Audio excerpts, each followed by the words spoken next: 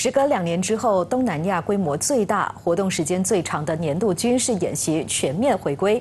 这个由美国和泰国展开的金色眼镜蛇军演，包括我国在内，共有三十个国家参与这一次的演习，动员将近六千名士兵。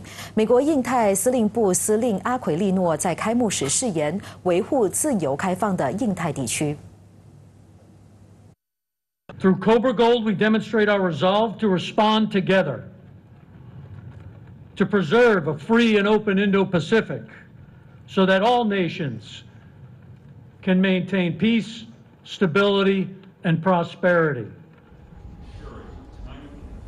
美泰两国展开的金色眼镜蛇军演，从一九八二年启动以来，已经有四十一年历史。过去两年因为新冠疫情缩小了军演的规模。今天这场军演在泰国东部罗永府的乌塔堡国际机场拉开帷幕。而这一次的军演，除了着重于海陆空和网络空间之外，也是有史以来第一次训练部队如何应对空中现象的影响，比如太阳风暴或卫星通信系统中断等等。而这场演习也将持续到三月十号为止。